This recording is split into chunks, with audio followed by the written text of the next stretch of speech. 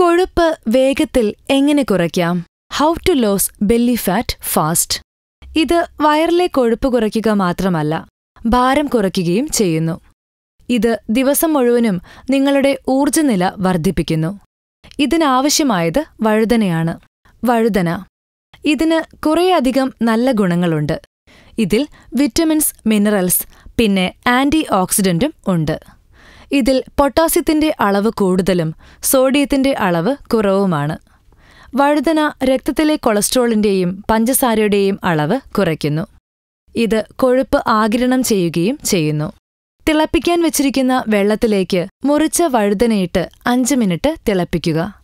ശേഷം വഴുതന തണുപ്പിക്കുക. തണുത്ത വഴുതന നന്നായി അരച്ചെടുക്കുക.